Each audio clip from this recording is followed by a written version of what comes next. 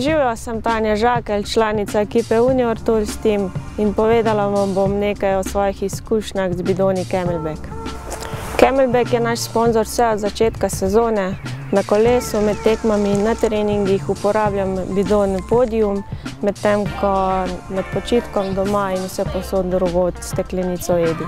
Bidon Podium je iz mehke plastike in ko ga stisnem, mi v hipu zagotovi dovolj tekočine.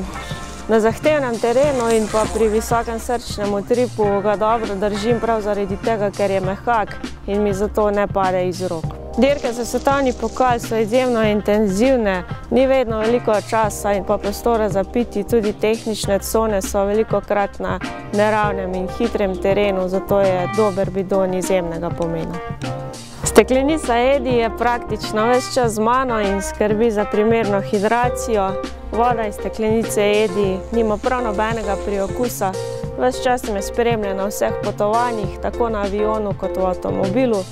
Prav v avtomobilu je izredno priročna, kajti ne nagibam je in tako ostanem pozorno na vožnjo. Bidoni Camelback bodo z mano še naprej na dirkah za svetovni pokal. Bodite z mano tudi vi!